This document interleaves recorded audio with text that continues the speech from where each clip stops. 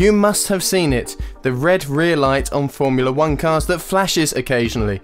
But what is the purpose of the light and when does it turn on? We will explain this in the new Fact Checker. In terms of appearance, Formula 1 cars can hardly be compared to the cars you'd see on public roads every day in your life. They're designed with only one goal in mind, to get one person across a circuit as quickly as possible. However, there are some similarities. Even though a Formula 1 car does not have any headlights, it does have a red rear light. This light is mounted on every car 30 centimeters from the ground and has three functions. First of all, it can simply be used as a rear light. Wet conditions can make it difficult sometimes to estimate whether someone is driving in front of you and how far away they are. Therefore, it's possible to keep this light on constantly for safety reasons.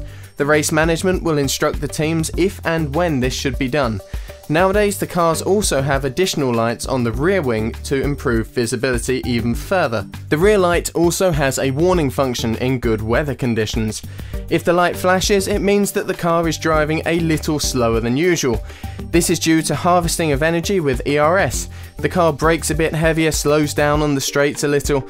The next driver is then able to anticipate this when he sees the lights flashing. Finally, the light can also be shown green, which is the third and final function of the rear light. If the driver is a novice in Formula 1, he drives with the green rear light on. This means that it's his very first time in Formula 1 and it often means that the driver does not own a super license yet. The green light simply warns other drivers on track about the rookie. The lamps on Formula 1 cars are resistant to all kinds of conditions.